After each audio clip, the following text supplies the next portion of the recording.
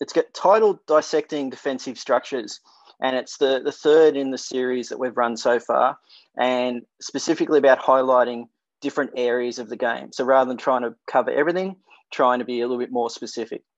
Today, um, as we put defensive structures under the microscope, we're going to try to do more than simply glance over them, and hopefully we can provide some greater detail into a variety of different defensive structures. So the webinar will run for about one and a half hours, and it's going to cater for all levels, including for a higher performance perspective. Uh, future webinars, we're still going to try to look at doing some on tactics, effective goal scoring, attacking structures, and a few other areas. Before we start, I've muted everyone's audio. So if you want to ask a question at any time, please just unmute yourself and ask. And if, for example, you don't want to do it via asking that way, the chat's there as well that you can just type something into. So, first thing is, my name's Steve Willer, and I'm the current Australian men's indoor hockey coach. And I've been in this role since 2016. Um, and I've been coaching indoor for a fair while now, over 20 years. So, hopefully, I can offer you a bit of my insights tonight. Now, I'm going to break the webinar tonight into a few different areas. So, it's going to be broken into man to man, zonal, pressing, extra player sort of situations, less common sort of defensive structures, and we'll finish off with some questions that you might have that haven't popped up during the actual webinar or you want to wait to the end, up to you. The information's from my point of view, and the various teams and coaches will have different interpretations and changes to each structure. Each structure needs to be modified to work for your team and your players for it to be effective against any particular opposition. Um, often the defensive structures are named because of their look when I refer to them. And some of the names that I give them and we talk about tonight might be known to you as, you know, a different name or a different structure. Before we start though, I want to just clarify some terminology that I use. The, the concepts of a defensive structure and a press in my view are different. So a defensive structure is a setup used to defend, to resist an attack to stop an effective attack. It is reactive to the attacking team. Whereas pressing, it's proactive. And a press is a setup that actively applies pressure throughout movement to the attacking team to force them to move the ball and force a turnover and force them to do something that you want. So I have a, a slightly different view just in terms of defensive structure and pressing that they're two slightly different things. The first thing I'd like to start with is the most common and the easiest to understand of the, the defensive structures, in my view, and that's the deep man to man structure. Here's a, a, quick example of the deep man to man, just from a, a 2020 Euro hockey match. Orange is the Netherlands and white is Austria.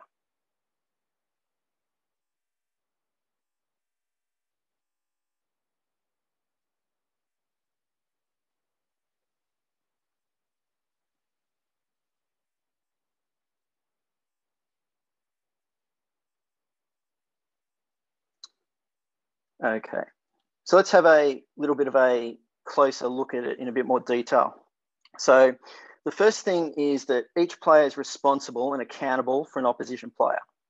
They must follow that player and stick with that player. There's no handing over or swapping of players. They, they follow that player basically wherever they go. The next thing is that the two front forwards are positioned on the halfway line, hence why it's called the deep man to man. And the two forwards try to hold the middle of the court and prevent any passes or any players running the ball through the middle of the court. So they try to secure that middle. The back three players are assigned to an opposition player and they follow their player around and try to prevent them getting the ball. If they do get the ball, then they try to prevent them from eliminating them. So they try to hold them up or, or dispossess them depending on the, the situation. A key with the deep man to man defensive structure is that the players do not follow their opponent across the halfway line. So if one of those players makes some sort of movement and they run across the halfway line, then they don't physically follow them in this structure. As the two front players try to protect the middle of the court, they encourage the opposition to play the ball wide and down the boards. So they're protecting that middle, and they really want to try to force the defending, uh, sorry, the attacking team, the opposition, to pass that ball down the side of the court. When the opposition plays the ball forward and then down the boards, the closest front player, that forward, who is beaten by the pass, then sprints back and helps. So what that then does is that brings that player who's been eliminated essentially by that pass back, and the forward that sprints back aims to create a one versus two situation. So one attacker and two defenders. And the objective is to outnumber the ball carrier when they're on the boards, trying to force that turnover there. So here's another video clip showing that deep man-to-man defensive structure. So just have a think about a few of those little things we just talked about then and see if you can pick up on a few of them.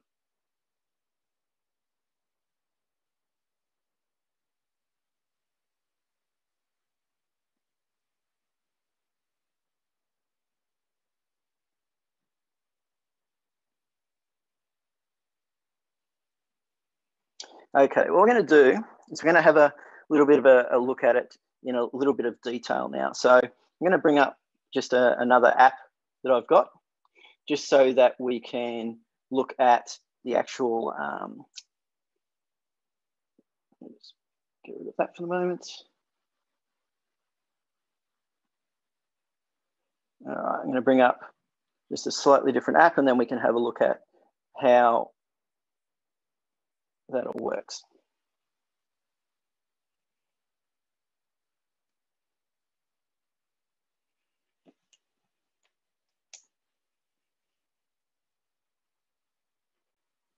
I'll try again. Sorry, there was a little bit of a error in it.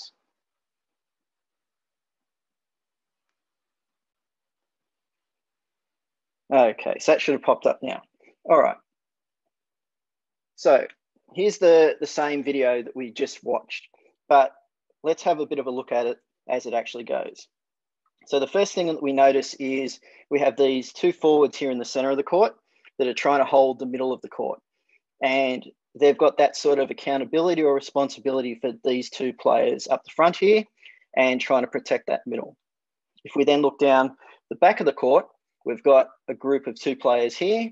So we've got an Austrian player in the white and a Netherlands player in the orange, another two there and another two there, which is our three players at the back who are marking man to man. As we watch the clip, we can see that as these three players run around the court in terms of the Netherlands players move around, that the Austrian player follows them.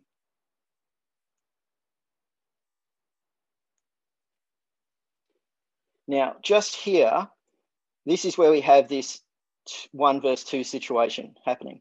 So the ball beats this first line forward here and gets in behind. And we then have these two players here come over to the ball. What then happens is the player who's been eliminated by that pass comes back to join their teammate here in defense and then create that one versus two situation. So we now have this situation here of outnumbering the ball carrier. The ball here is then being played back out, and then everyone goes back to their responsibilities again in terms of the defensive setup.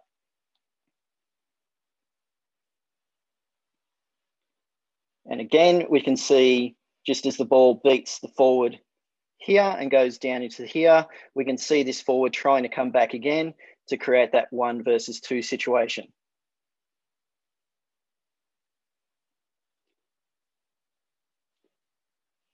Okay, so we're going to have a, a, look at another clip. And again, we'll, we'll look at it in a bit of detail here. So I'll play the clip firstly.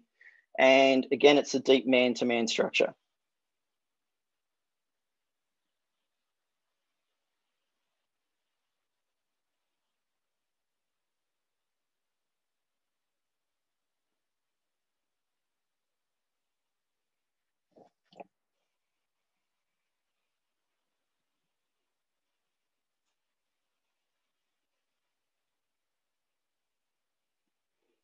So the main thing I wanted to, to bring up in this clip and show you is we've still got the same thing where we've still got our two forwards here trying to protect the middle. We've still got our three players at the back here still chasing their men around the court. However, this clip shows the concept we're talking about, about not following the player over the halfway line. So over on this side of the court, what's going to happen is the Netherlands player is going to make a lead back into this end of the court. And we're going to see that this Austrian player doesn't follow them over the halfway line. But instead, what they do is they stay in their half of the court and they track with them and then pick them up when they cross the halfway line again. So if we just watch these two players here, crosses the halfway line, it's going to track with him and track with this player and then pick them back up over in this area of the court. So they don't cross the halfway line, and that's one of the important things about this concept. The second thing that's really good in this clip is we've got a forward here. That's one of the two middle forwards protecting the middle area. And what they're doing is they're responsible for this player here. This player does a pass, and then what they do is they run across the halfway line. And then this player here on the right runs up and sort of takes their spot.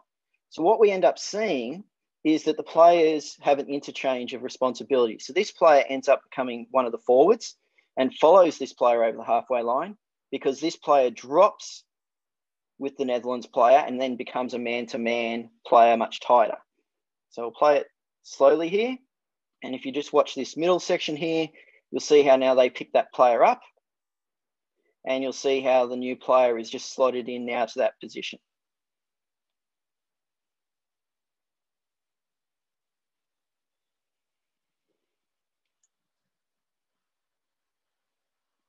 Okay, so let's just go back into where we were.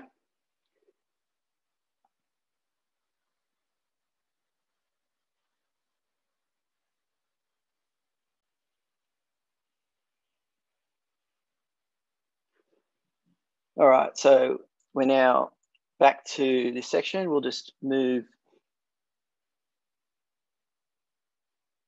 to the next section. So now we're going to have a bit of a chat about the actual man-to-man defensive structure. And it's basically the same as the deep man-to-man. But the main difference is that the front players start closer to the ball and they start inside the attacking half of the court. And secondly, that the defending players will follow their player into the attacking half of the court and they'll cross that halfway line rather than sort of stopping at that halfway line area. So here's an example. It's a very short one, but it will basically show that the players then move forwards across that um, halfway line. Actually, sorry, that's uh,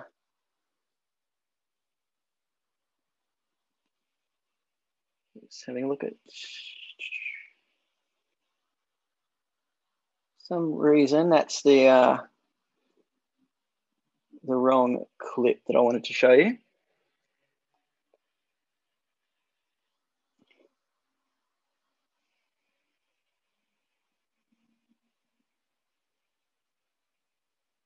Yeah, so that's not, oh, sorry. I've, I've mixed myself up. I've got a little bit confused here. Sorry, this is just a, a quick clip just showing the, the higher man-to-man structure. So you can see that the players are a bit higher up the court.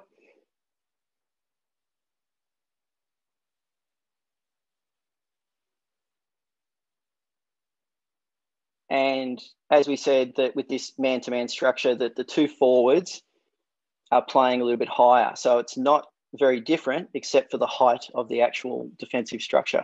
So these two forwards move and start further up the court. And then the next difference is, as we mentioned, that if a player runs back into their defensive half, then the defender will follow them into that area of the court rather than waiting on the halfway line.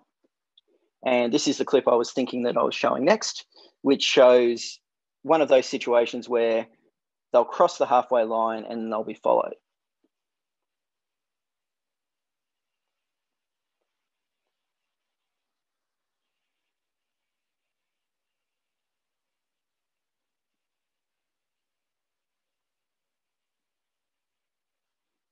So you can see in that clip there that when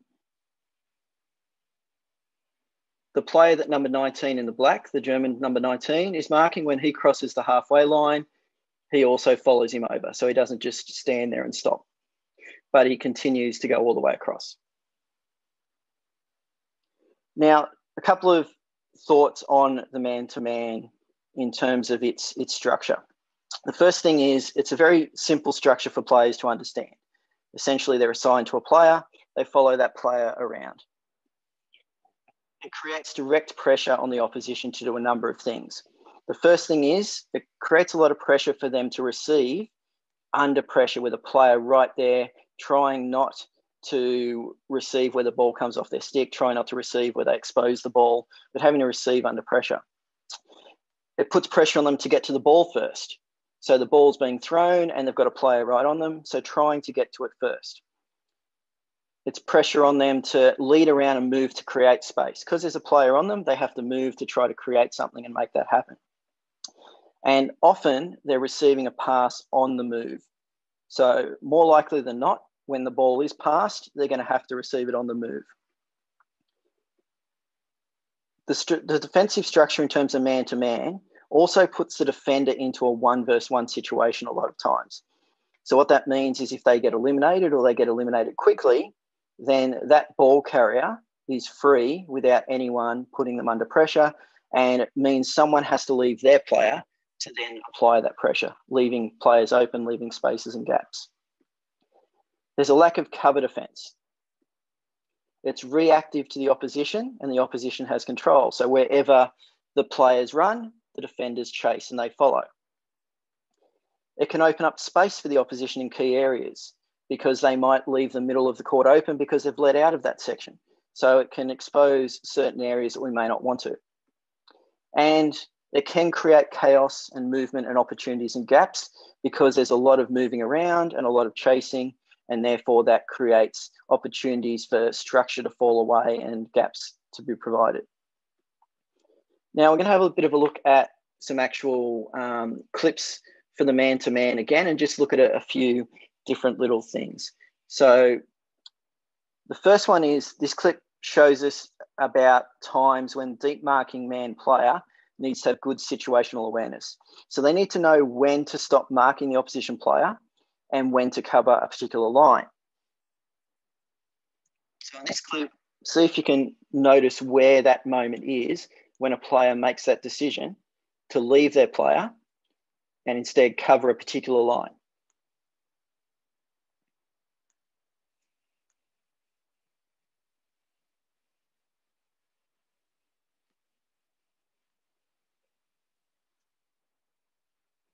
All right, we'll go back to the iPad again and just have a look at it where we can draw over it a little bit.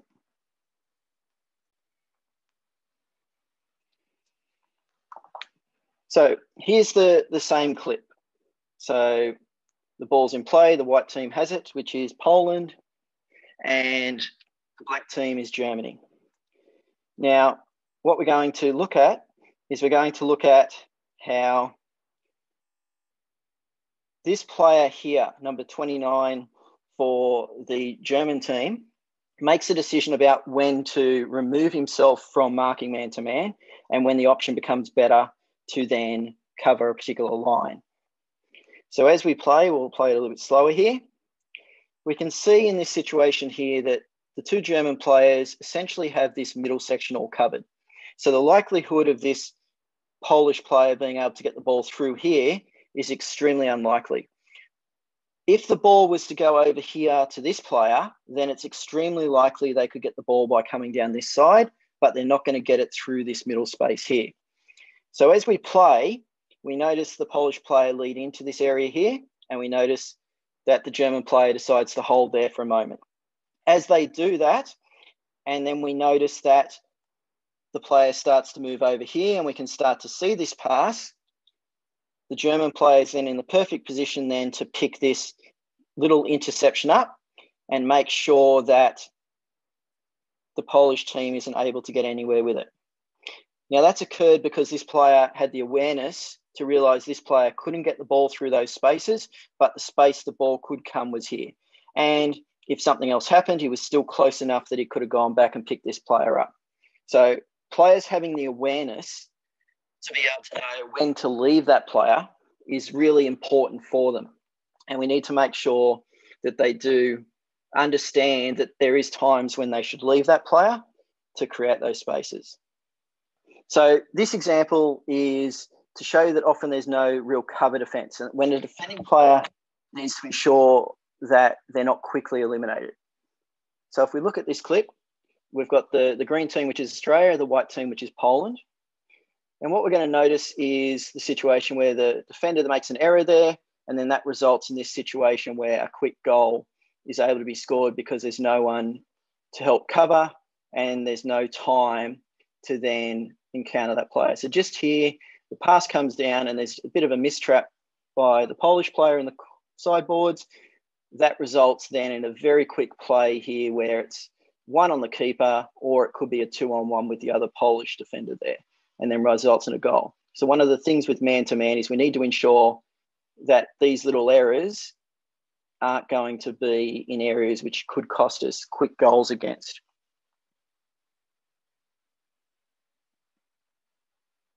Right, here's a, another example of how in a man-to-man structure, there's often no cover defense. And when the defending player is eliminated, another defender often needs to leave their player to pressure the ball carrier.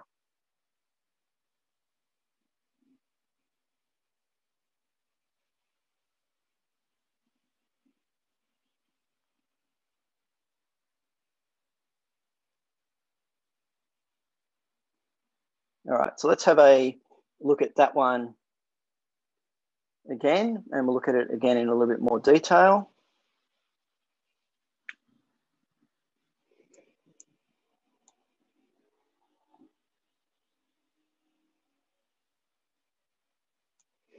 So right here at this point, what we have is the German player is able to quickly eliminate his opponent. The Polish player here hasn't been able to hold him up long enough. And that means that this player here from Poland hasn't been able to come back and create that one versus two. And we then have the situation down here where the Polish player is caught and either decides to go out and apply pressure out into this area or decides to hold. And in this case, he decides to apply that pressure. So here we are where we've got to the situation where they're quickly eliminated and this player hasn't had a chance to get back. Comes around and then down in this area of the court, what we notice is that the players had to leave his player now, and then that's created this open opportunity for this player, and only some luck there and a good save has really made it so that they didn't score in that situation there. We'll have a look at uh, another one now. We'll look at one where we look at that distance between the front line and the back line. So here's the video clip to start with. So the white team is defending, which is Austria.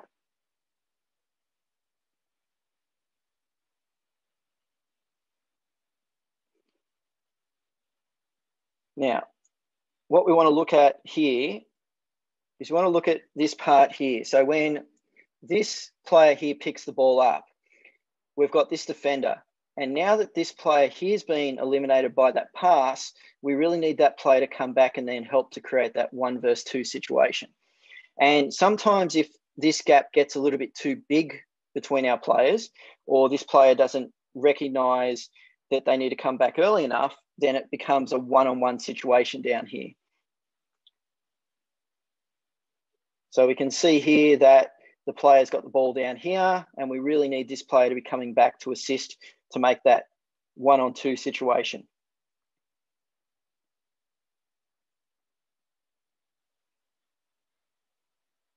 And again, just an excellent sort of piece of defensive work there has then allowed them to get out of that situation. It's really important that that forward gets back and helps to create that one on two. All right, let's have a look at another one. Whoops, wrong one. Here we go. So dark team, Germany is defending, white team's attacking.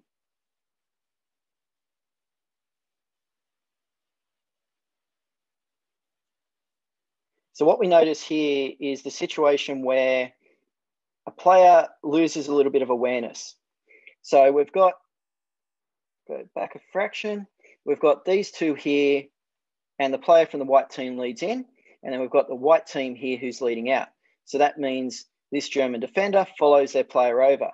This German defender doesn't quite realize what's happening, and they come out here. Whether they've come out here because they've decided they want to try to intercept the pass, or whether they've come out because they haven't realized, for example, that there's another German defender coming into that space.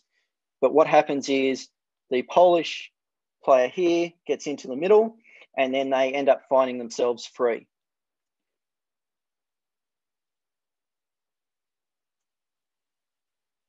So, unfortunately, because there was no awareness there in terms of what was happening with these two players here, that's then allowed this player to get free, which then allows this easy ball across. And as we can see, all this room here.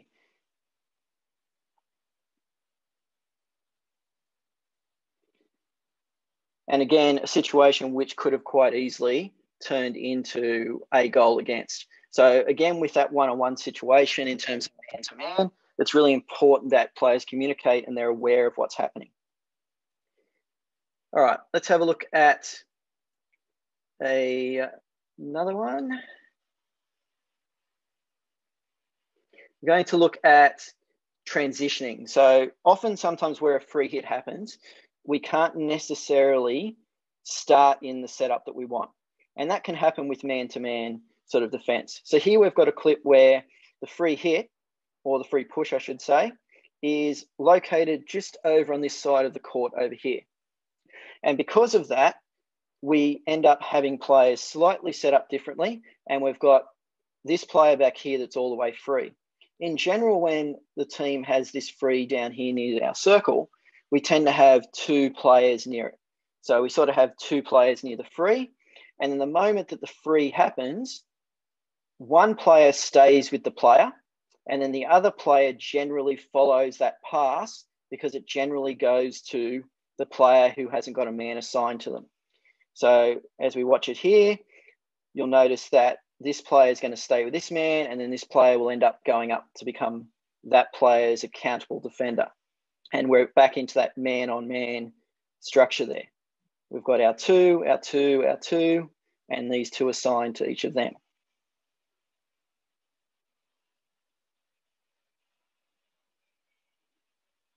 And you can see we're sort of back into that structure for that man-to-man. So watch it one more time there. Two players near the ball. One then keeps with the ball carrier who passed it, and the other one moves on to the player that was free.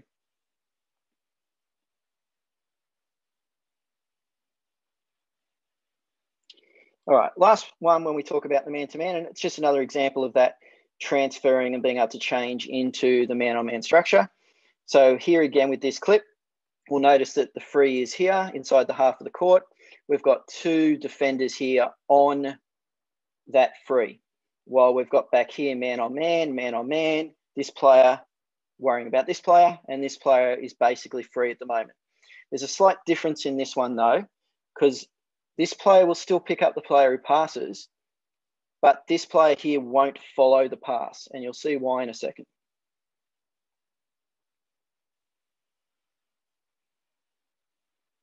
So he doesn't follow the pass there because the pass goes to this player, which this player is already accountable for. So then he just becomes accountable for this player.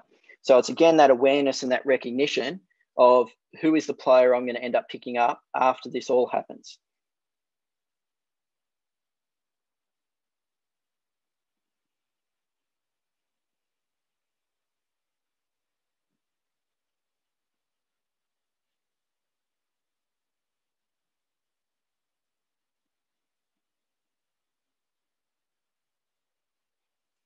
Okay, so let's go back to the PowerPoint show.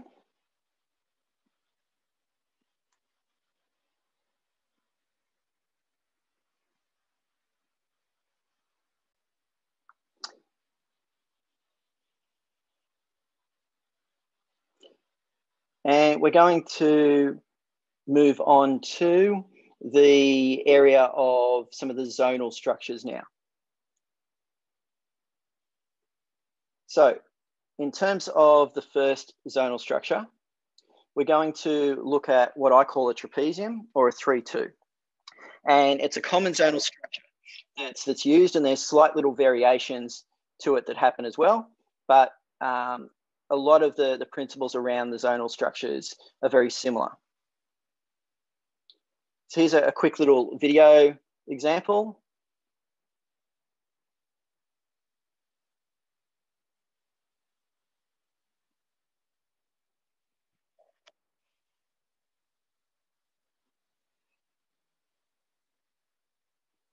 And as you can see, we're not following man to man there. We're holding spaces, we're holding areas. So if we take a little bit more of a detailed look now into this sort of defensive structure, we'll notice that there's two forwards that are on the halfway line and that they're trying to close that middle. So they don't want passes through that middle. They don't want people to run through that middle. The two defenders on either side on the boards and the middle defender is in the center there.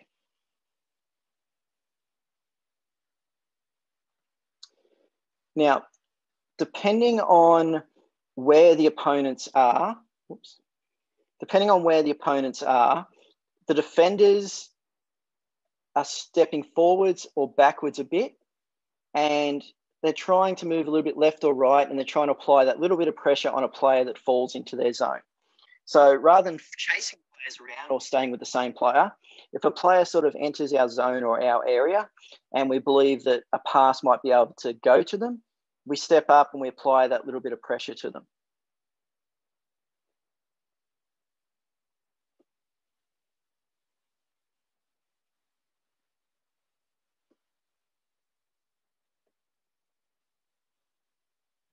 So it's just that little bit of movement, but not chasing players around.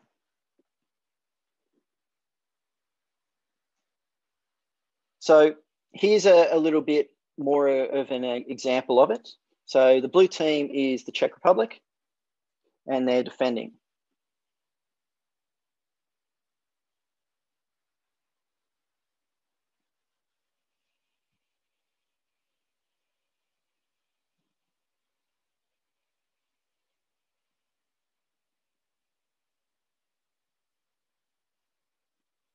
Okay, so let's similar to before, let's have a little bit of a, a look on the iPad for that one in a bit more detail and just see if we can notice a few little things.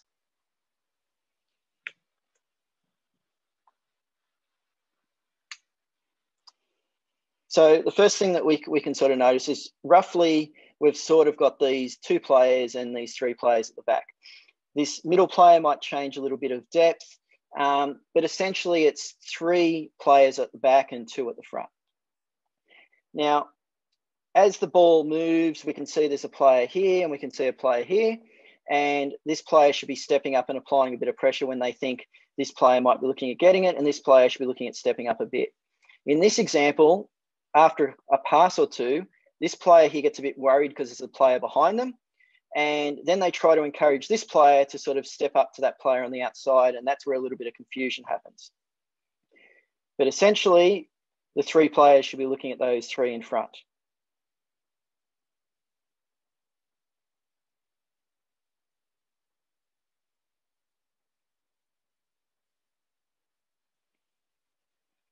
All right, so we'll have a, a look at a, another clip. Now we looked at this one as just a video earlier, but we'll go back to it and have a bit of a look at it. We looked at it at the very start. Uh, let's find it. There it is. So this is the one we looked at at the start. Again, we've got those sort of two players at the front and the three at the back.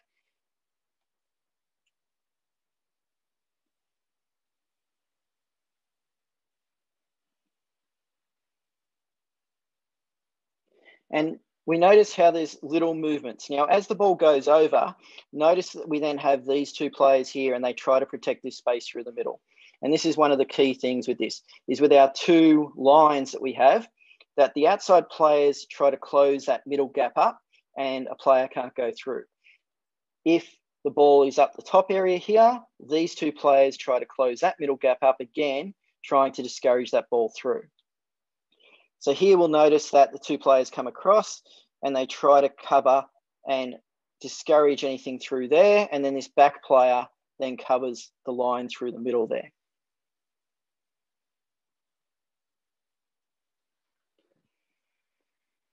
All right, let's go back.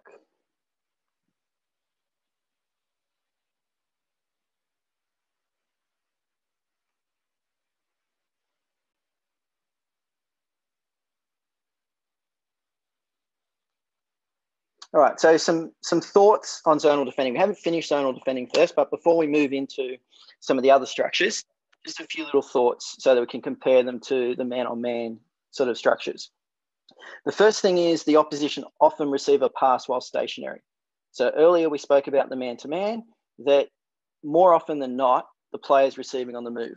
With a zonal structure, more often than not we find the opposition receiving the ball while standing still. The second thing is we find the defensive structure isn't altered by opposition player leads. So they run around, they move, but the defensive structure doesn't alter too much because they're not chasing them around. So it tends to hold that shape that it needs. The next thing is it creates situations where the defenders outnumber the ball carrier. So a one versus two. So one ball carrier, one attacker, and two defenders. So we often have that ability then to outnumber them. The next thing is it provides cover defense.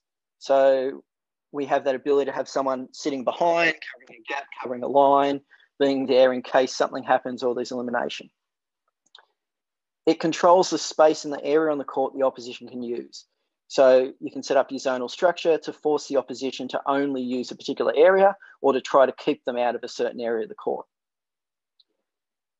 The next thing is it's more disciplined structure though for the players to understand because they have to hold and work with each other and it's not as easy as just following a player around. So it requires a little bit more discipline to maintain that structure. It's often there's no direct pressure on an opposition player in receiving. So players can often receive the ball and not have as much pressure on them. So they're not going to make as many simple little receiving errors or feel that pressure when the ball's coming to them. They don't often have to fight to get the ball it can create a situation where the defense waits for the opposition to attack for them to go forwards. So it can almost be like this stalemate situation where the defenders are sitting back there, moving left and right, while the attackers are just holding the ball and passing it between themselves at the back. And nothing sort of really happens. And nothing's really happening because the attacking team's waiting for the defenders to do something. After a number of passes, the defense can lose its structure and positioning. So on that last one, one of the things you would have noticed already in just a few of the little clips we've shown is that the longer a team maintains their defensive structure, so the more passes an opposition makes, the more a defensive structure can lose its shape and it can lose its effectiveness. So it really takes that discipline for that shape to be maintained. I'm going to talk about a slight variation on the um, that trapezium 3-2 and I call it the olive or the circle. And again, it's because of its shape. So if we look at this clip here, you're going to notice in this clip that the shape looks a little bit more like a circle. It's not really two and three. It's sort of like almost two, one, two, maybe two, two, one, but it sort of becomes that sort of circle shape. So let's see if we can have a bit of a look at that one on the iPad again.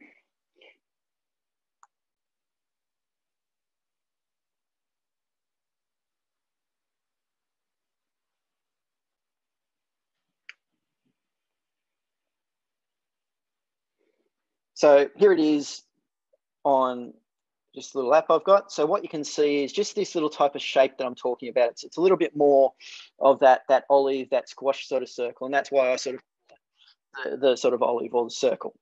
So it's not as clear cut as having, say, two up front and three at the back. Um, so I sort of call it like that. And again, if you notice, it's got similar sort of characteristics to the other one. It's when a player is close, they might put some pressure on them. So we've got a player here and we've got a player here. So they may come and put a little bit of pressure on them if they think they're going to get the ball. We've got a player out here and a player here. So they may apply some pressure if they think they're going to get the ball. Player here and a player here. So they may apply pressure if they think they're going to get the ball.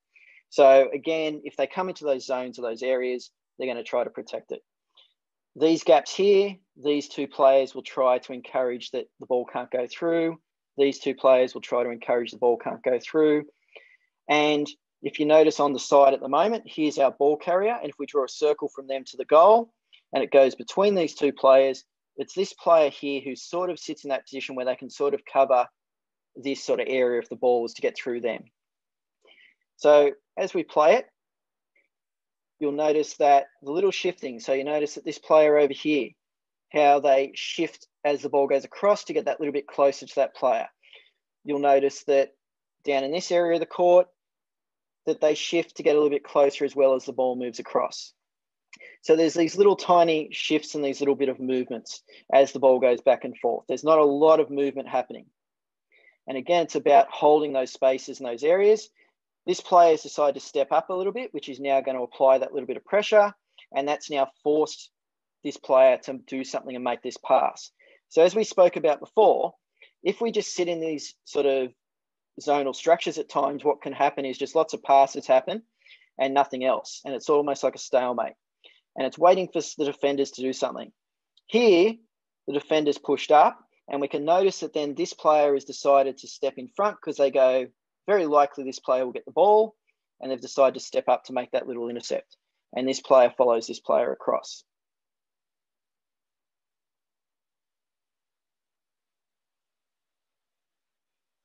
So one of the things about that zonal structure is we tend to find, whereas with man-to-man, it's almost a fight for the ball.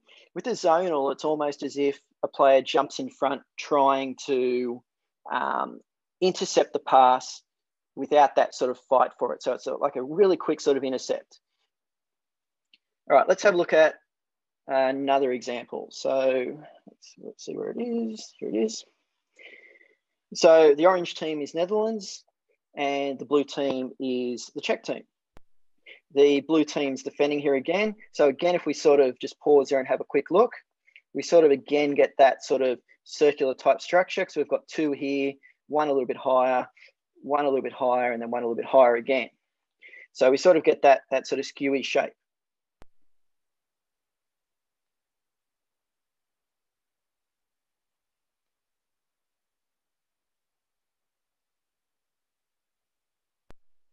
So as you can see in this one, there's a lot more movement by the blue team, the Czech team trying to move. So as the ball comes out wide, we've got this player out here applying that little bit of pressure, and then this player moves in again to cover this sort of space through here to prevent them coming back through the middle.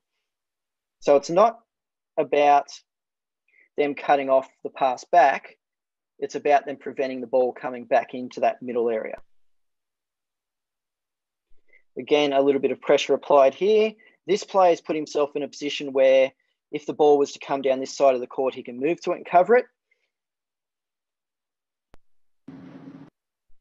Now, when we get to this section here, we've got these two players, and this player is again lined up in the middle between those players. So again, we have this, this situation where we can have these covering players all the time.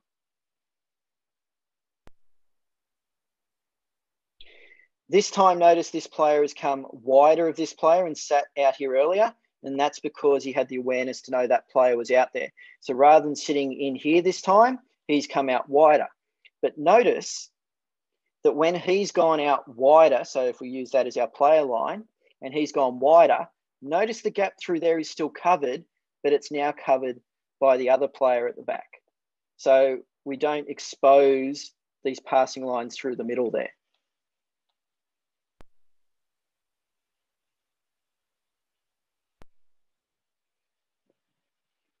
All right, we'll have a look at another one. Uh, there it is.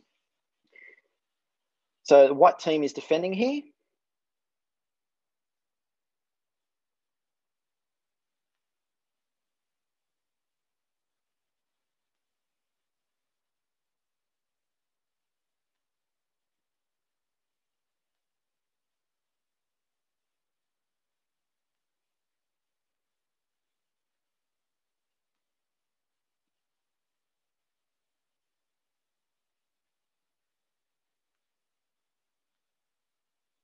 So a few little things that I want to sort of bring up in this one. So the first thing is again, we can sort of see this sort of circular type structure here. We've got player a bit deeper, a bit deeper, and then at the back. So again, we've got these players all on these different lines, making more of this circular shape. This player here continually applies pressure to this player, and they do it with this player. They're doing it before this player here can pass them the ball. So what it then does is discourages this player here from making the pass, and then this player doesn't get the ball. So he moves up really early before the player can get it, and then that stops that pass happening. So here we notice he started that little bit of a step to begin with. And now, as soon as this guy's receiving, he's getting that little bit closer. And now the player on the ball is looking up and he's going, This is not a good pass to make. So he doesn't make it.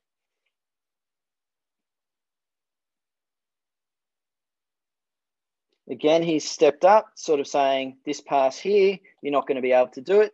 So he doesn't give it. But what happens now is this player's now got the ball before this player could step up and stop him getting the ball. So now what he decides to do is if his player's already got the ball, he now maintains a defensive position rather than pushing up on him and getting eliminated. So if our player can get to the player before the pass to discourage it, he'll do it. But if the player gets the ball before we can sort of discourage it, then he just holds. So you'll notice there how he's just holding now rather than going. And now notice again, these two players are coming together to sort of cover that middle portion. And this player here is starting to move in a little bit to try to cover that ball through. And this player here is looking at covering that ball down the outside.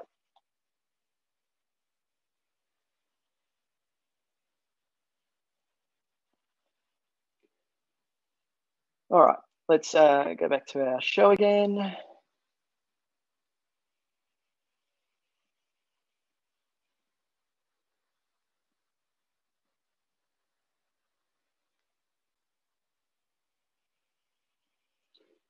All right, so we're now going to look at the next sort of zonal type structure. And this one's called a dice or an X system. The dice because it sort of looks a little bit like a five on a dice when you roll it, or an X because purely that it has that shape. So the green team here, the Australian team, is going to set up the X, the, the dice, against the red team, which is Czech Republic. So you can sort of see that X shape there.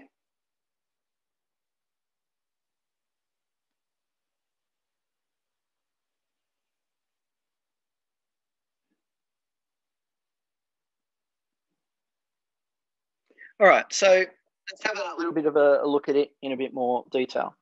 So the first thing is we've got our five green players, which is the X and each role. So we've got a left forward who's there, who's directly in front of the ball. So we want them to apply some direct pressure on the ball carrier and be three meters away. Now, this is what I would call sort of a full sort of X where everyone sort of pushed right up. You can also play one where it starts back on the halfway and it would be like a, a deep X. So this could be done as a full one or a deep one, similar to the man to man. So at the moment in the full one, they're up there three meters away applying pressure so that the ball carrier can't run the ball or the angles to pass around them are going to be quite sharp. We then have the forward on the other side of the court. They're trying to protect that there's no sort of real pass sort of going to come down that left forward's right sort of side and get out through the middle section there. So they're sort of protecting that. And also they're a bit deeper to encourage the pass to the opposite defender. You've then got the middle forward who's trying to protect the hotline. So the hotline, for those that don't know that terminology, is it's essentially a line from the ball to the goal. And it's a direct line, and that player is protecting that line so that they can't pass the ball directly towards the goal and into the top of the circle. And their job is to then pressure whoever the person who gets the ball on the side of the court is. The next thing we then have is the defenders. So the deepest of the two defenders is on the ball side, and they cover the gap between the left forward and the mid forward, so that very small gap. And then they're also in a position where if there was a player down that corner, they could confront them as well.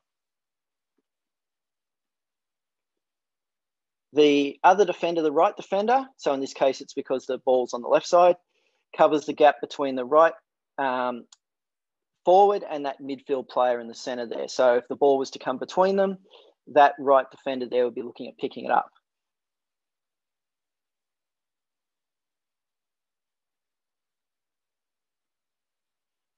So when the ball moves across, everyone sort of shifts across. And you'll notice now the ball's on the right, that the right defender is deeper and the left defender is that little bit higher. And again, the left forward's a little bit deeper than the right forward to encourage the pass back to the defender.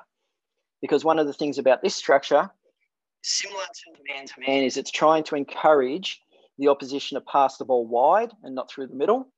And then it's looking at trying to apply pressure in a one versus two situation, so to outnumber the opposition.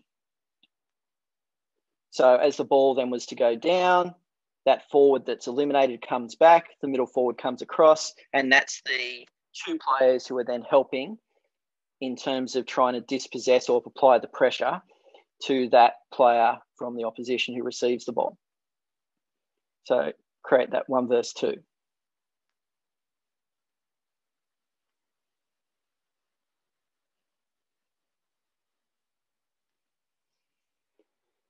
Right, here's another clip showing this X structure or dice. So again, the green team's defending.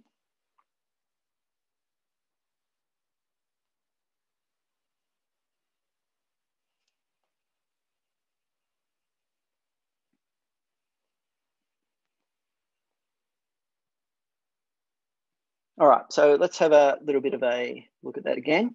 So the first thing that we're going to notice is that once it's started here, notice that the player near the ball in terms of the green player is much closer and that the player in the center of the court number seven is sort of roughly on that hot line. So if the ball is to be passed through the middle, that he would be able to intercept that or dispossess that. As the ball's played across, the right sort of forward now applies the pressure. And again, the middle player is still on that hot line. As the ball goes down the sideboard, the middle player moves across and the forward who is eliminated comes in and applies pressure. The ball goes back and then they reset. As the ball goes out again, again, the forward who got eliminated comes in and helps with the middle player. He's passed the ball down towards the corner. So that defender now moves into a position. And notice how he's holding more in court rather than worrying about the baseline. And that allows the goalkeeper to make a very easy save when a player is sort of shooting from this sort of angle. Now, in the middle of the court, in the top of the circle, we've got a red player, a Czech player coming down. As they come further down, it's the defender's job who's in the middle of the circle there to go deeper as well. So if they were to try to pass the ball along that back line and pass the goalkeeper or into a player for some sort of little tap in, it's that player's job to cover that gap between the defender who's in the corner and the goalkeeper. And again, if you notice, nothing's sort of gone through the middle. Everything here is being kept really wide. And that's the big thing about this. This structure is about keeping everything wide and sort of covering that, that middle area.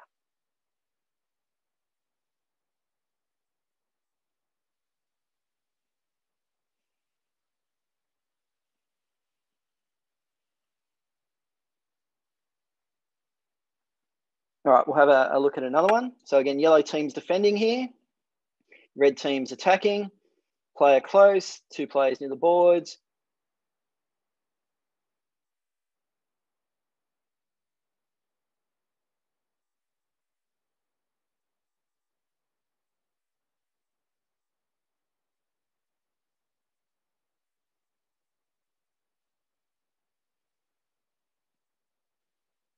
So again, you'll notice that they've tried to keep the opposition with the ball wide. And in particular here, notice that when have this short pass here to the boards, we have the forward and the middle player again going over. But when the ball goes in the corner here, the defender goes, but the middle forward or that midfielder also comes to become that two defenders there on that one attacker. And again, you've got the defender in the middle of the circle covering the gap between the goalkeeper and the, the defender in the corner. So if the ball was to come across, and then you've got a forward who's come back to near the spot area to cover a gap if it was to go between the two players confronting the ball carrier. And again, preventing them from sort of coming in court and forcing them to go back. All right, and have a look at situations, for example, where you're a player down. So it's very rare to play an entire indoor hockey match these days without at least having one player sent off.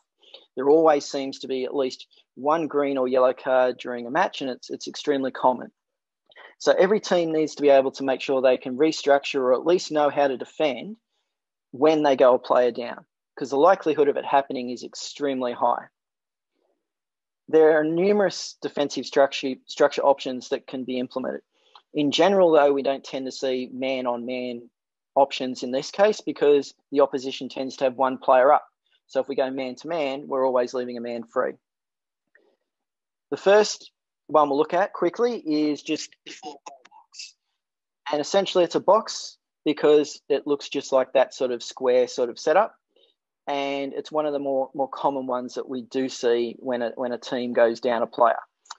With a lot of these setups, they tend to set up right near the top of the circle.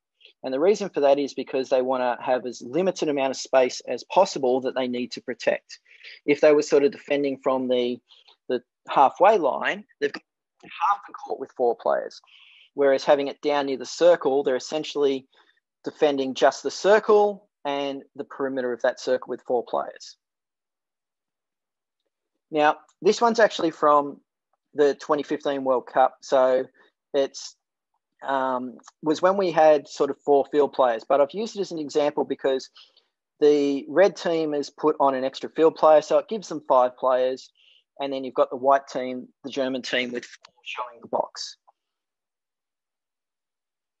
So you can see the box sort of set up there, and you can see a little bit of a pressure applied.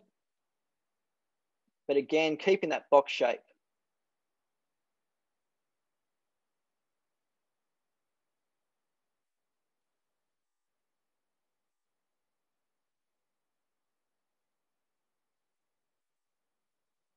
Now, one of the keys again to these sort of structures is that when, for example, the ball moves into a particular area, certain areas are being covered and backed up by players behind. So as we get into, for example, this ball which goes down into this corner area, we'll notice that we've got a player on the ball and we've got a player out near the edge of the circle. But notice that the defender, number 13 here, that he moves in the gap between the two players to cover that space. So he covers the space between the two players. As the ball moves up, what's happened here is number 21, who's the highest player, rather than worrying about the gap between the two of them and sort of forcing the team to pass it back out, he's worried a bit too much about the ball going back. And then that's opened up the ability for this ball to then go across the court here. So generally, we try to force them to pass back out and we cover those little central lines with the deeper player.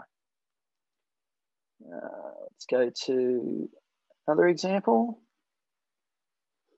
So here's another example of the four player box. This one's a more recent one. So we've got the five normal field players and the white team has had a player sent off.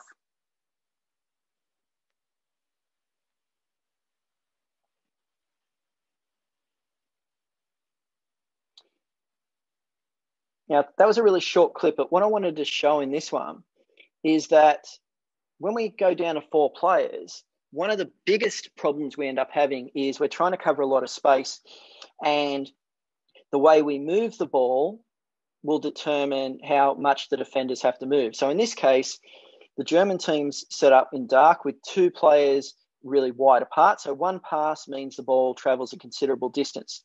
So the white team has to then make sure that they move very quickly to try to cover all of these spaces. So watch how quickly they have to move when the ball goes from one side of the court to recover these angles. So they have to move. Now, if the ball goes back again and then back again, they're going to be moving in a great deal.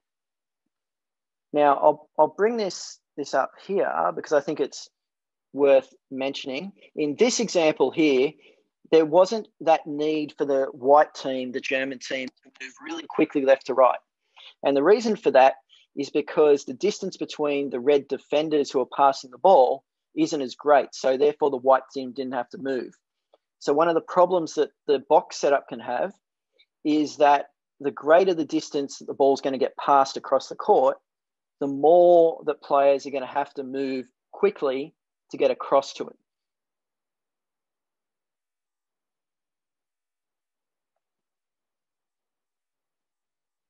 All right, we'll have a look at another common four player structure that's used when we go a player down, and that's the diamond structure. So it's very similar to the square sort of structure, but this one's more covering the middle a lot more. And this one sort of more courage, encourages the opposition to sort of go much wider to attack rather than trying to use that space in the middle of the box. Here's our, our first example of it. So the white team here, the Austrian team has set up a diamond and you can notice how it looks like it covers a lot more of the passes into the middle a lot better. And the player in the middle of the court has a player closer to them. So it's more the corners and the outsides that appear to have the space.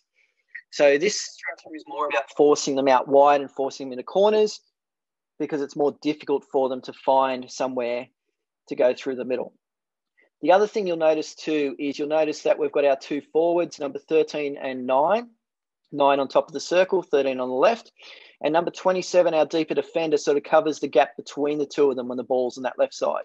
When the ball moves to the right side, they then cover the gap between the two players on their right. So they're always covering the gap between the two as it moves across back and forth. When the ball goes in the corner, the player who's basically on the point or the closest player moves to then apply that sort of pressure to them. Here's another example. Again, this is Austria in the white versus Netherlands in the orange, and they've set up a diamond here to try to defend. Again, right back on the top of the circle, less area to defend. You'll notice that it's a bit harder to try to get the ball into the middle because of that structure.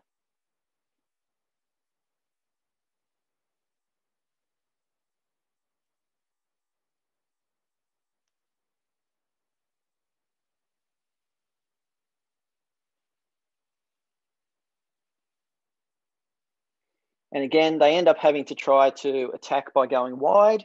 Now, it almost worked out for them. Now, one of the reasons why it almost worked out for them was as the ball goes down into this left hand corner, what we notice is that ball has gone through into that middle player there. Now, there's just been a slight little error by the defending team here that as that ball got passed into that left hand corner, that the player hasn't then covered that gap. So, for example, on top of the circle here in the middle, that forward who is at the point, as soon as that ball goes into the corner, they need to step into the gap between the two players he's got in front of him. So, if he steps into that gap, then what happens is that ball then doesn't come between them. So, every player's got a second thing they need to do. And generally, if they end up looking at two players in front of them from their team, generally they should be covering the gap between those two players. Now we're going to look at one which isn't a very common four player one that we see, and it's called the four player slant. The idea of this structure is to encourage the opposition to play the ball down their right down the defending team's right hand side of the court. Now it's set up to try to make that happen with four players. So here's a, a quick video of it.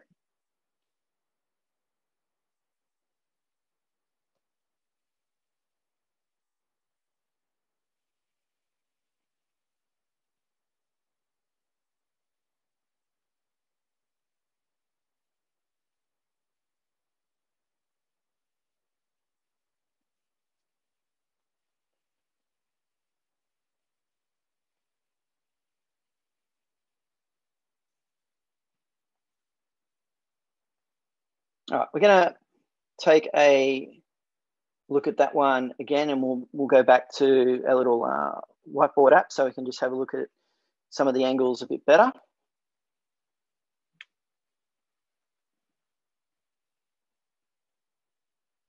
So let's go a little bit closer. So the first thing is we've got our four players. And we can sort of notice this slant happening here as we look at it. We're promoting a lot of space down this side of the court, and we're trying to discourage anything sort of coming through into these sort of areas here. So as the ball is moved, it goes firstly across to the other side. And when it comes across here, this player is sort of coming over, trying to discourage them from going down here. And none of these players have sort of stepped up. So what they're really doing is leaving all of this room over here and trying to encourage the ball to come back into that area. As the ball moves across, and even as this player runs across, these defenders again just simply might shift a little bit, but again, they're trying to leave all of this space over this side of the court and make this side of the court look less inviting. So as they move, this player stepped up a few, but then he's reminded, no, we're not trying to do that. I need to move back. And then he moves back into his structure again so that we have this slanted line trying to force them to come down into this area.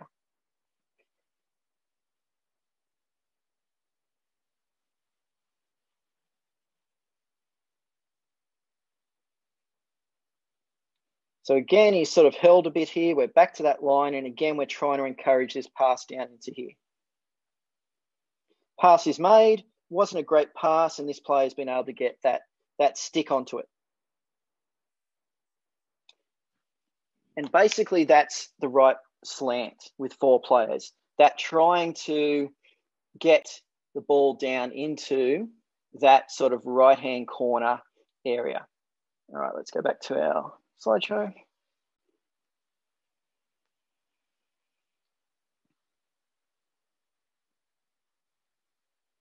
All right, the next one we're going to look at now. This one seems a little bit silly. So we've talked about being a player down, but now I'm talking about that we're going to use a dice, X shape, which is basically five players needed.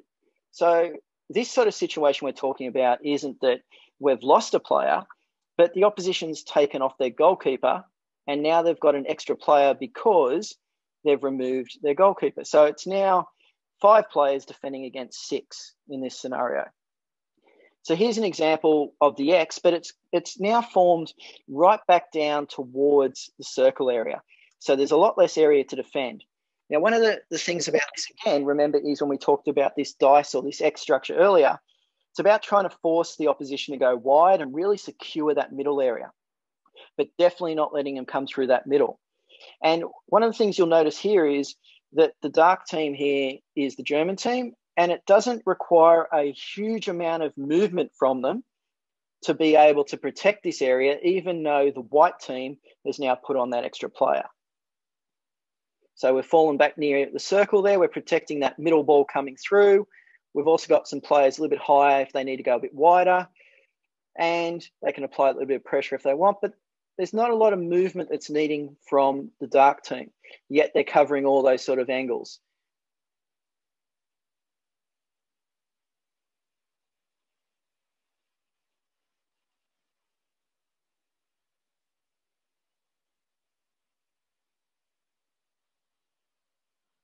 All right, so that's just a, a real quick example of how sometimes you can be a player down just because the opposition's got an extra player on the court and it's because they've pulled their goalkeeper off. So some of our defensive structures we use, we can actually use them back towards the top of our circle rather than, um, you know, up near the halfway.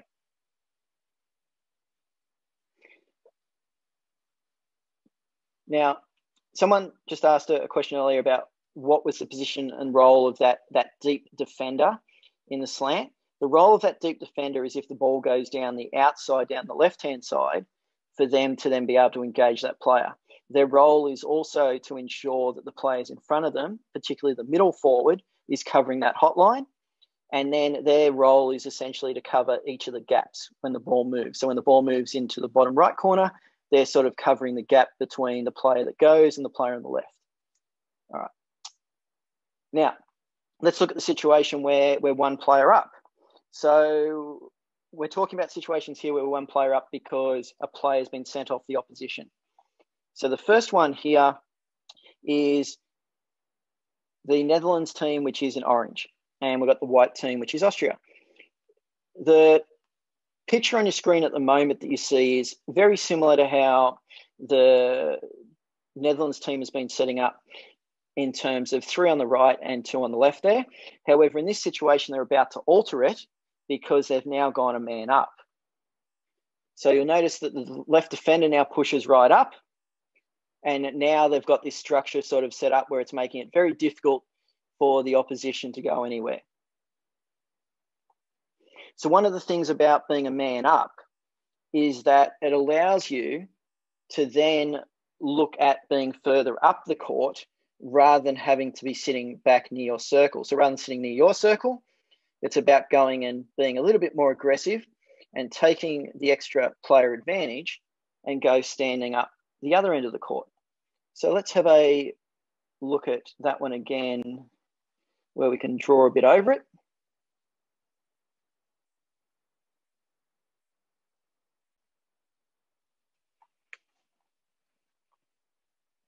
So here, as we said before, we've got the Netherlands who sort of started in this sort of structure, which is their normal sort of structure, although it's normally a little bit deeper. They've recognized that they've got this extra player. So now what happens is this player is now going to move up and assist. But as they, they move up, it's not a man to man structure. It's basically covering lines. So we've got this player here making sure nothing comes through the middle. We've got this player so nothing comes down that shoulder. We've got this player here so nothing comes down through here. We've then got this player over here trying to prevent anything coming through this area. But we then have a player back here in case it eliminates this front line so that he can then cover any of those options if something gets through. We've allowed both of these side passes because once this pass goes to the side, then we apply a bit of pressure. So here, they've then been able to move across and again cover these sort of lines. This player is moving across slightly to cover anything through here. And the pressure, the pressure then basically forces him to try to make some sort of pass through the middle there rather than making a pass which holds possession. So we come back, pass comes through this area here.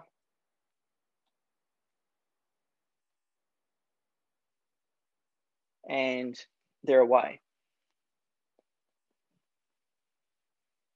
All right, let's have a, a look at a another one when their team is one sort of player. So here we've now got the white team. The Austrian team is one player up against the red team, against Poland.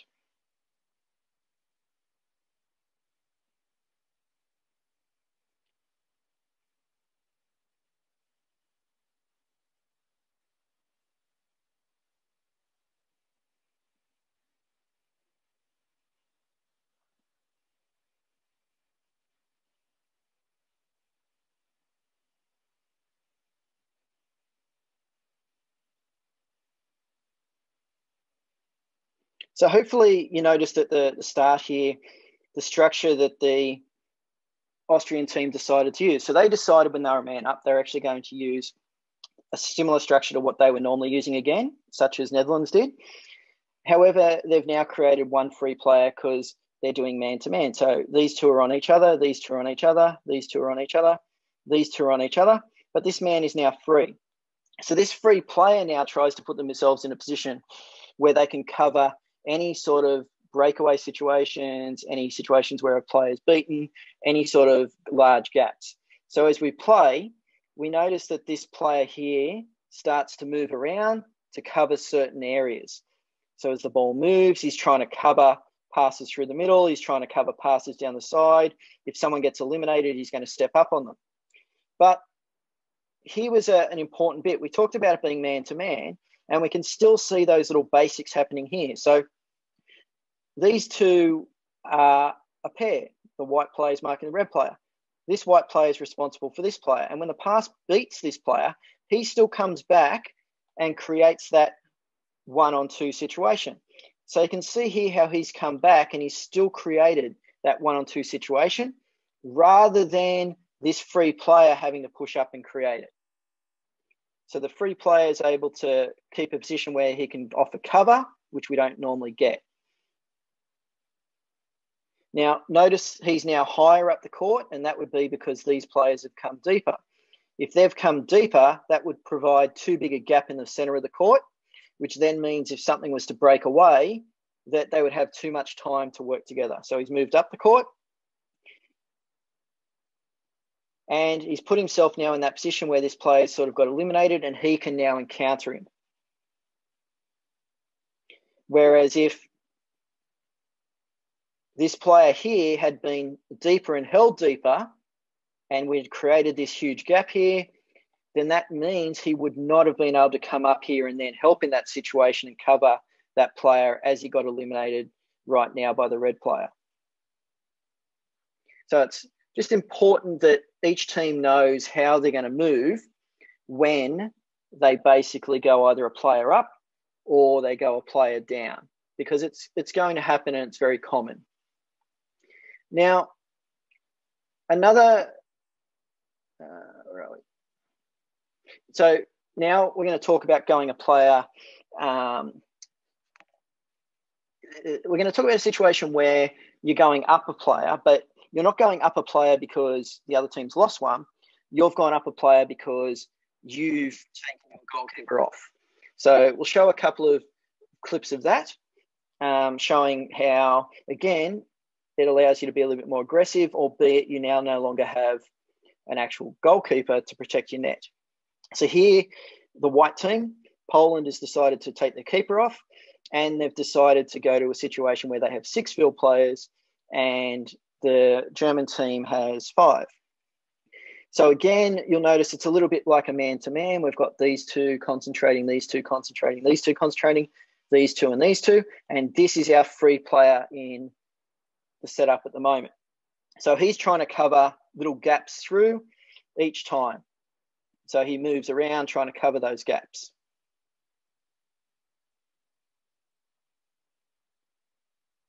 So as the ball's moved over here, notice that what's happened here is there's been a slight change. And now this guy is the free player and it's going through here. So do we all notice that that little change happened? Let's have a look at it again. So as this player was concentrating on him and he was the free player. As it developed and they basically came really close together, this player has now decided to pick him up and allowed this player to be free. And again, he was now looking at covering that gap. And now, as the ball's beaten them and come down here, these two players now are looking at creating that one versus two. And because the forward who's been eliminated has got back in time, it's now actually turned it into a one versus three situation.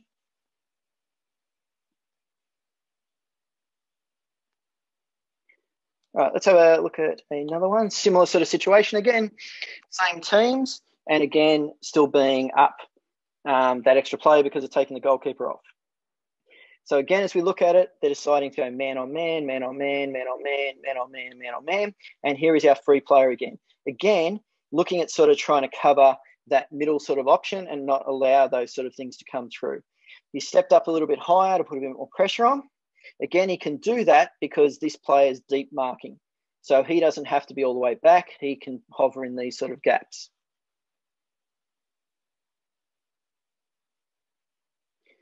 As this player gets the ball, he can then apply some pressure on him. And again, player, player. And again, that gap there is covered by that free man there.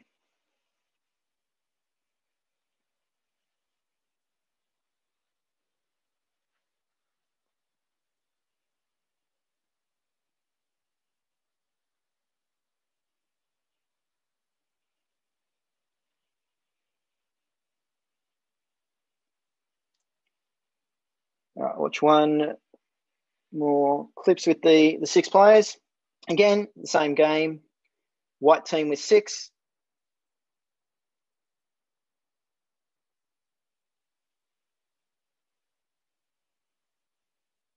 And you can again notice that as the ball moves out, we've still got our players who are connecting with each one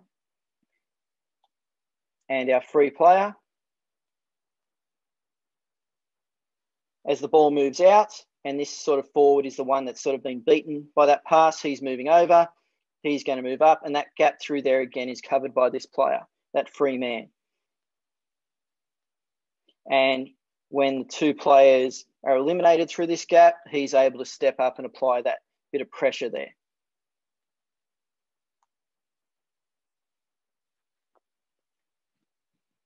All right, let's go back to the slideshow.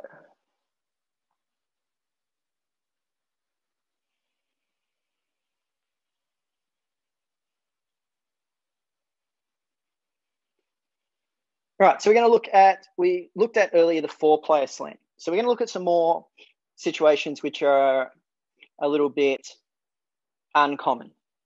So the first one we're going to look at is something called, which I call the right slant. So we saw it earlier where there was a four player right slant, but this one is full five players. So again, it's the same principle, trying to force the opposition to play down the defender's right hand side trying to put the defenders on their forestick, trying to put the attacking team on their reverse stick, and trying to put them into one area of the court all the time. So the way it sort of looks is like this. As we said, the aim is to force them to pass down the defender's right. The forwards are close together trying to prevent the ball going through the middle. And then the other players behind them are on that sort of slant, encouraging the ball to come down into that sort of right hand corner. Now, they really want that ball to come to that player there where they can then apply pressure or it can go further down. So that player can receive and run, or they can receive and pass into the corner, but that's sort of where the ball wants to go. So once they pass the ball down into that area around the halfway line, then players move in. So that middle player then moves across and applies pressure. The right forward moves across to apply pressure. The left forward covers the gap between the mid and the right forward. And the left defender moves in to cover the gap between the mid and the right defender. So the two back players are again are covering the gaps.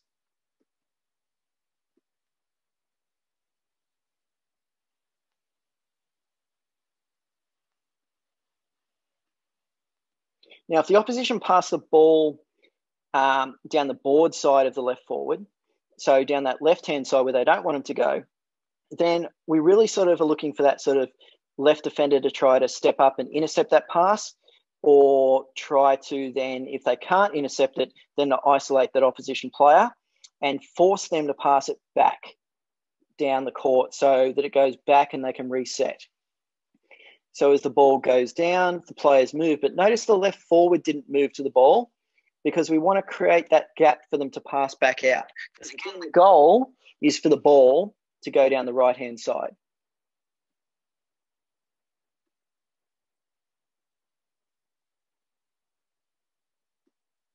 All right. Now, one that's very similar to the right slant is one I call the right side funnel. So it's very similar, but the deep defender on the right doesn't tend to be in that angle. They sort of tuck in a bit. And sometimes the right side of it can be more of a straight line rather than an angle. And one of the teams that do something very similar to this a fair bit is the Netherlands team. And they sort of stack that right hand side of their defense. And their left hand side has those two players. And they're really sort of trying to get that ball to go down their right hand side. So here's a little bit of, of an example. So you've got the Austrian team in white, Netherlands in orange, and they've sort of got those three players on their own right hand side. So when the ball came down that left, they sort of stepped up and tried to apply the pressure. So it sort of roughly looks like this. They've got their two forwards, and then they've got a sort of a mid midfield player and two defenders at the back, sort of stacking that right hand side with three players. So here's here's another look at another one from a different angle. So you can see that sort of shape that's sort of stepped up, and the ball goes out to that side.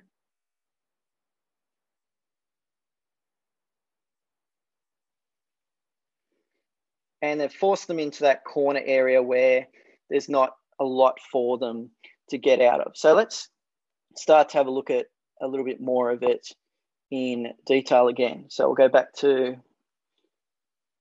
our whiteboard.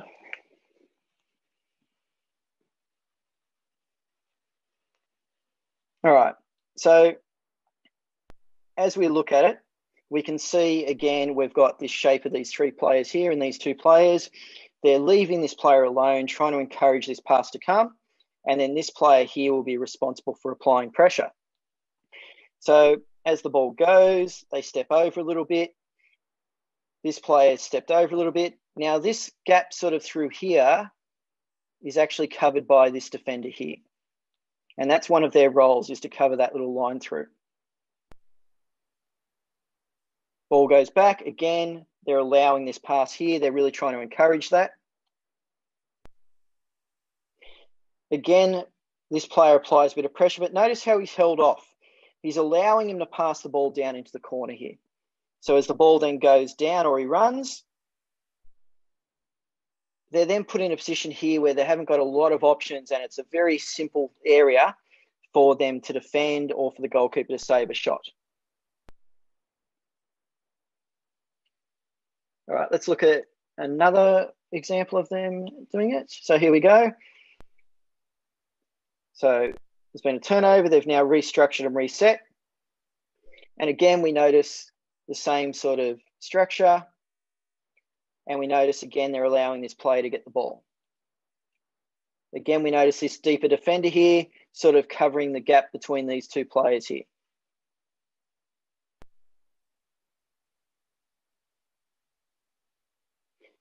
Again, the ball goes into the corner and that deep defender applies the pressure. And then this player comes back and puts pressure on. And this middle defender comes in looking for the gap again between the two of them. And you can see in this situation, that gap, he's picked that ball up. And now they're on that breakaway. Watch that again.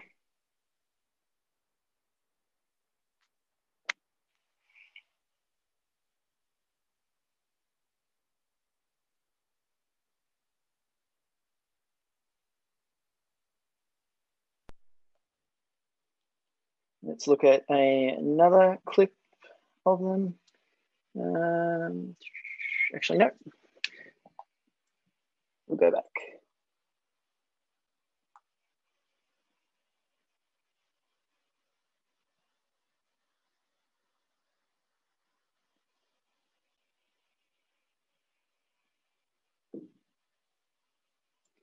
All right, so here's one more example of it. And what I want you to look at here is when the defensive midfielder here, he does something a little bit different. So the middle defender in that line on the right, he decides to apply a bit of pressure on the person from Austria on the sideline so that he doesn't actually get the ball past to him. And what ends up happening is that then makes it harder for the team to have things happening. What he then does is he then stops doing that, and then that pass is allowed to be made down into that corner area. So watch the middle player in that set on the right side. He applies a bit of pressure to the Austrian player each time. So the pass is almost prevented from happening each time. So they're not really allowing the pass to go down that right side at the moment because he's really putting all that pressure on. This time he got the ball first and they're able to put the ball down, which is more where they want it to go.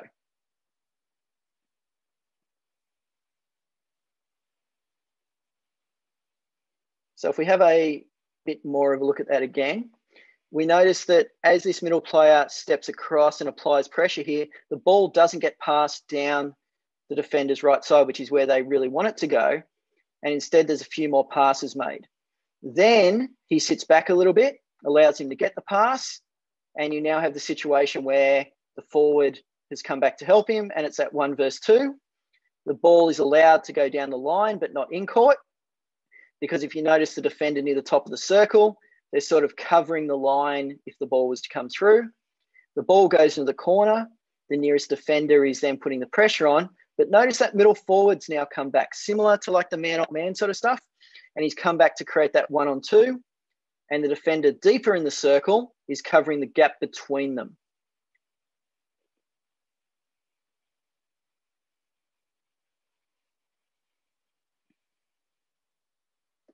Okay, now another one which isn't so common is we talked about the trapezium. This one's what I could just call an inverted trapezium. So it's two at the back and three at the front rather than having the three at the back. So here we're going to have the red team, Iran, has two at the back and three at the front in this sort of trapezium sort of shape. The two defenders are holding the gaps between the forwards in front of them each time. And when the ball moves to the side, the defender may shift out to the boards and the other defender holds the gap between the two forwards as in here. Just went off, we'll try that again.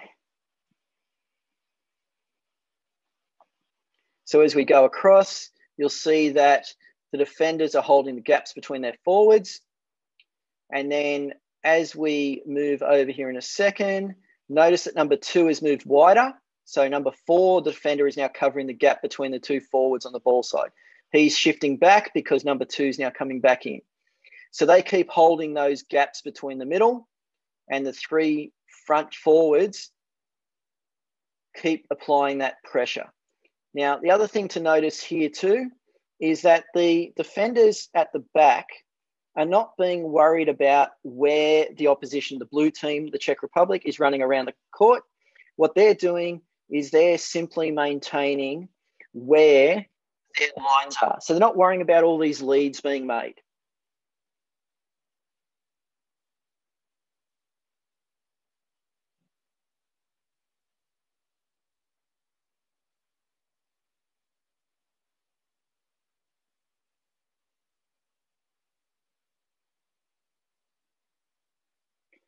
All right, so we'll look at the same structure again. So again, we've got the three in front, the two at the back, sort of covering those sort of gaps and those lines the back two players are. Again, the blue team's running around a fair bit, but that's not altering the structure of the red team. All right, now this one's slightly different. This is one we might occasionally see, but we don't see that often. And that's where the team, rather than having a three at the front and then two at the back, or having two at the back and three at the front, they're going to have a three at the front and three at the back. And the way they've done this is they've ended up deciding, well, we're going to use our goalkeeper as that sweeper, that middle defender role. So the keeper sort of steps up and then decides to mark one of the opposition players. Now, it obviously has some benefits and it has some, you know, weaknesses. Whereas if the goalkeeper gets too far out of position or moves too far away, they open the net up and they can often be caught in a one on one situation or even two versus them. So it's not a common thing, but here's an example of it. You see the keeper, number two, decides to be a bit of a defender and pick up the Netherlands player there and move with him. That frees up one of the other defenders, but there's no real goalkeeper, so it has has some weaknesses if a team was to get through.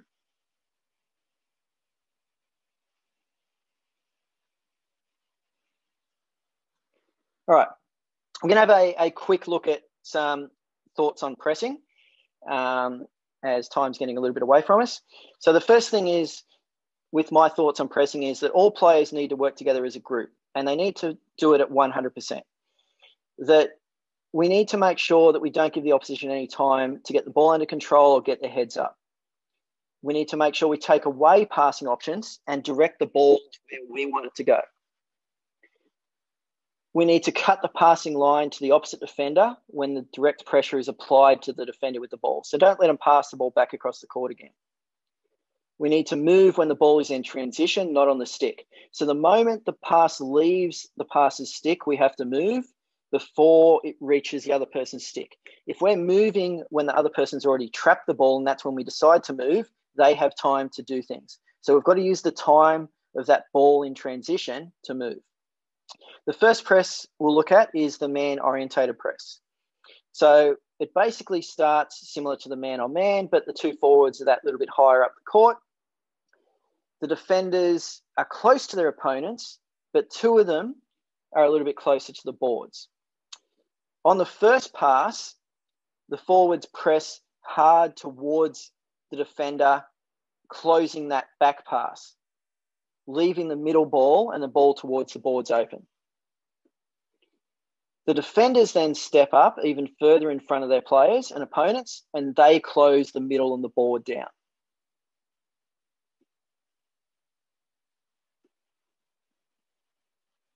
So that back pass is cut off by those forwards, and then the defenders are the ones who generally make the actual turnover. So it's generally not the two forwards, it's generally the defenders who pick up the pass. We'll have a, a quick look at a zone press. So it's similar to the man orientated press. The difference is two defenders are on the boards from the start, regardless of where their opponents are, and everyone presses on the first pass. So, as I said, the two defenders here, you can see are, are on the boards regardless of where their opponents are. Ball goes across, forwards move up again, cutting that line, and everyone's moving directly into those positions straight away.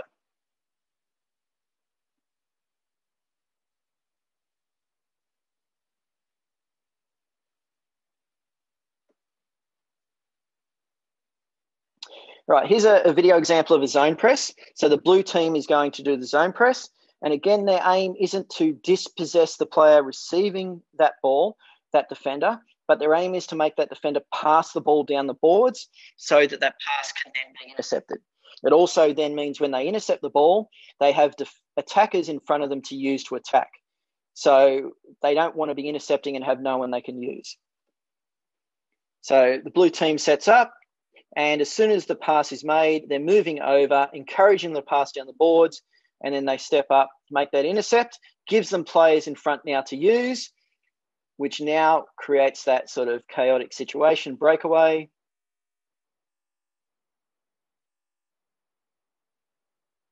And results in a goal. So I'll give you another quick look at the start of it again. So the pass comes across. They push forwards, opening up that board side so the defender steps up and picks that up. And then they're away. All right, here's a, another example of zonal press. So you've got the dark team here who's going to be doing it. This one, they, they don't use as much movement because it's not as required. They get the turnover a bit earlier here.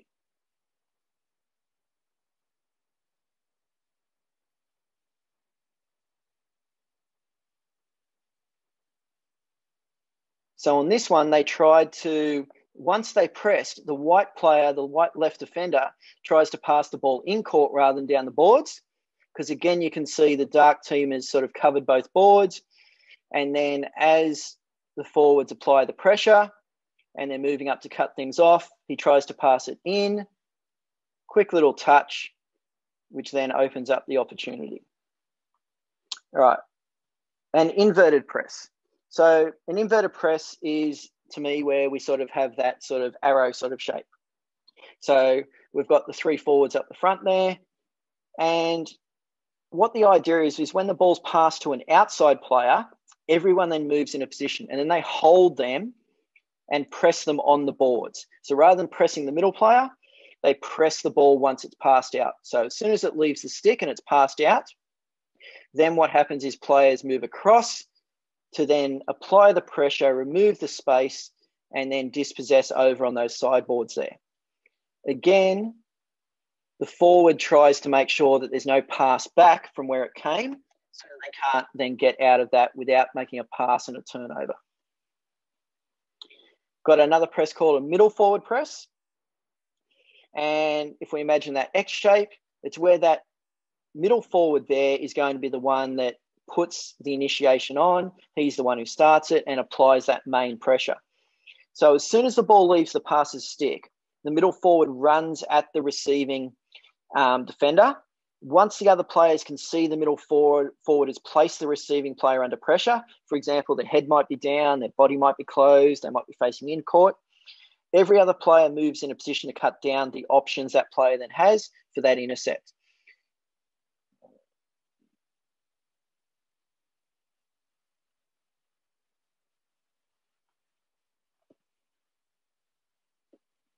So ball goes across, the middle forward moves up to apply pressure, and then everyone else moves to cut those options out. Right, here's a video clip showing just an example of a press. So the white team Poland's going to press the green team, uh, which is Australia. So they've set up here and they're going to allow this pass over to number six, and then they press. And what they've done here is they've set up from the beginning to allow the defender on the right hand side, number six here, to get the ball.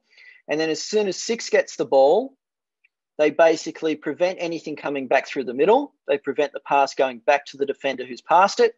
And one of their players moves to then intercept or cut off the board pass. So the ball goes wide, can't pass now through the middle. The defend the forward in the middle of the court to the left of the screen is cutting off the pass back to the defender. And another defender from the white team stepped up to cover the board. So when the ball goes down, they intercept. So again, they've only really given the option to the Australian team there to go down the boards, but that's what they wanted, and they've been able to then intercept that. Right, a common approach when pressing is to, to force that pass, like we've started to mention, to the left defender, to the defending team's right side, and then to cut off the pass back to the other defender across court. The next pass is often then made down the boards, and that's where the press then takes that turnover, that, that interception. So here we'll see that the pass goes out as we look at it to the left, goes back to the right, and now cutting everything off so it has to go down the boards. And then the intercept is made. So this is a very common method where the ball goes out to the left there, goes is allowed to come back to the right, and then from that point, it's prevented from going back. And the boards is then where all the then turnovers are looking at happening. Now, I want to look at this one, but from a different point of view. It's, a, it's important to think about how the press is initiated. So, what starts the press? Now, here's an example of a press, and it's initiated on the first pass. So, not everyone looking at one player and waiting to see when they move. The moment that first pass is made, everyone then moves to then implement the actual press. So, first pass, and then the player moves up to initiate that. It's all done based on the first pass. So, as soon as that first pass is made, everybody then steps in front of their player. So first pass is made and everyone's now stepping forwards to get in front of their player. And we then have the intercept, which then ends up resulting in a stroke. Here's an example of a press from that Netherlands funnel structure. But the way it's initiated here is it's when the ball goes down the boards and then it's passed back out. So it's not initiated by the first pass, it's initiated by when the pass goes down the boards and then comes back out. So Netherlands in their, their structure. Ball goes down the boards, ball comes back out, and now the press has started and that pressure has been applied. So if we look at it again, the moment the ball goes there, there's no pressure, the press hasn't started, but the moment this ball now comes back, you can see that forward there moving up to apply the pressure in that transition. And that's the moment. Now, once he's there and this player starts to take a step back and hold the ball, everyone else is now moving up. And now it's turned into a one on two situation, and all the other players are stepping up. So here's a here's another example of a press again. This is Netherlands again in their setup. However, this one's initiated by one player who starts to apply the pressure and tries to force the ball to the other side of the court. And then once that pass is made, then you can notice that that, that press begins. So Netherlands holding their structure. And we can see how now that press has started.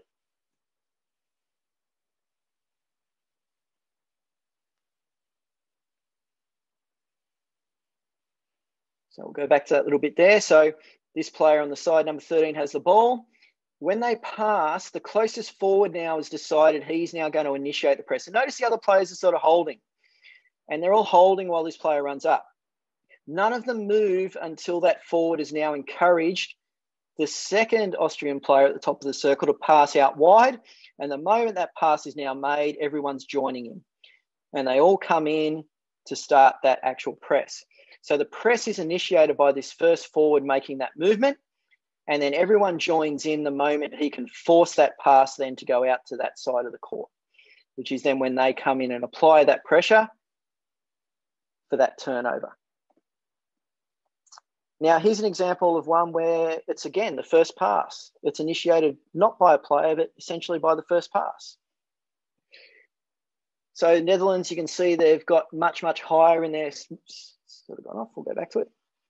We can see Netherlands got much, much higher in their structure here. So you can automatically tell sometimes. So I'll just pause for a sec.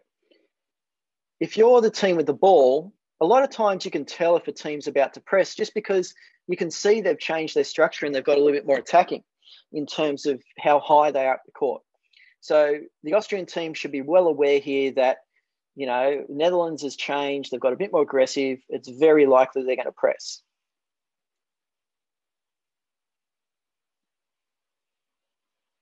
First pass is made and then everyone moves. So as we can see, it's initiated by the first pass here. The moment the pass is made, players move. There it goes. Now everyone starts to move right now. No one's waiting to see what happens. Everyone's moving as quickly as they can in there to apply that pressure.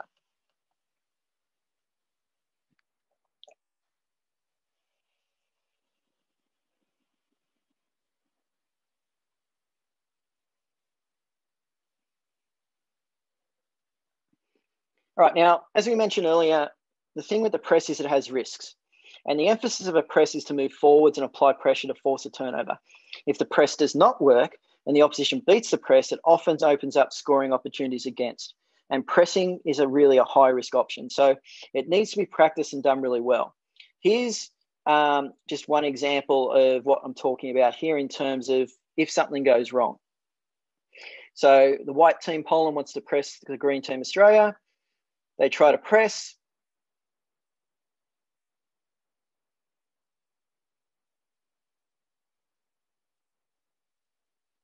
And there's a goal against. Now, because Poland decided to press and put everything in, all their players had to move forwards. As they moved forwards, the Australian player was able to get the ball here and get a free hit. And because they still played and went really quickly, what then happened was they still had two forwards up really high, but hardly anyone from the Polish team who could then get in a position to defend. So it was able to be a really quick breakaway, which was then able to result in the goal being scored. So it's one of those things about pressing that when we do do it, we have to realize that it does have risks to it in terms of opening ourselves up to goals against um, or corners against or strokes. Now, we talked a bit about initiating and how it can be on a pass and how sometimes certain people move.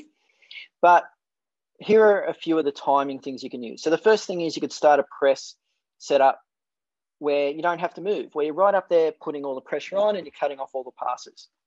It could be on the first pass that you start your press. It could be on the second pass. It could be pressing a particular player. So when this player is about to receive, we're going to press them you could press a particular player or position. So, for example, you could press the player on the boards in the middle of the court. You could press when the ball is passed in a particular area of the court. So you could say when it gets in the bottom left corner, we're going to press it.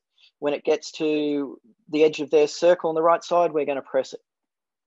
And you can press when an error is made. So it might be a poor receive or a poor pass or a slow pass.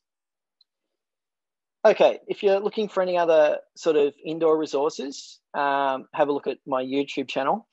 But we're going to basically end the, the sort of um, discussion there in terms of my, my side of it. So if you've got any questions or anything you'd like to, to raise or, or comments, um, please, please let me know. I know we've gone a little bit longer than we said, but I hope that I was able to provide you with a lot of different um, options there are for defending and give you a bit more detail on them as well, rather than just a real quick sort of glance at them and not understand some of the finer points. All right, doesn't look like anyone's got anything want to raise at the moment. If you want to ask me something later, feel free to email me um, or touch base um, any other way. All right, thank you very much for hanging around and for staying with us and enjoy the rest of your day or your evening, depending on where you are. Thanks again.